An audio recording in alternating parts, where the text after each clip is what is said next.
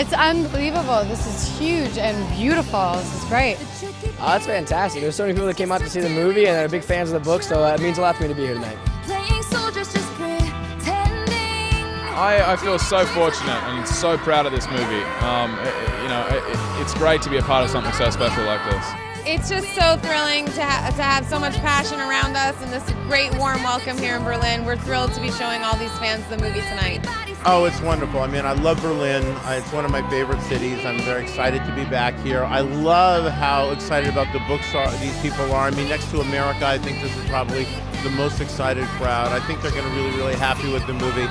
It's extremely uh, flattering and overwhelming and uh, very fun at the same time. You know, um, end of the day, I'm very, very proud to be promoting this film. I think it's one of the most powerful films I've seen, and to have so many passionate fans turn up and, and you know be so excited about it, it's great.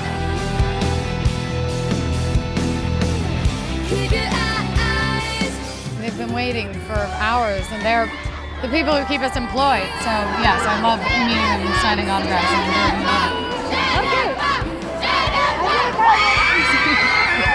Yeah, I know. I feel like I'm an athlete. mean, their support is the reason why I have a job. Uh, if it weren't for them, I wouldn't be here. So for me, it's all about the fans, 100%.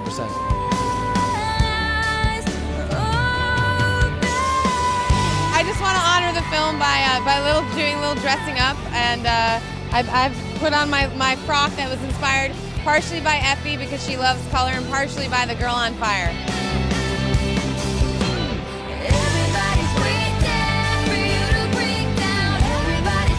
Were very fortunate to get actors who were really perfect for their parts and to see people embrace them like this. Hopefully, you know, this is just the beginning for them.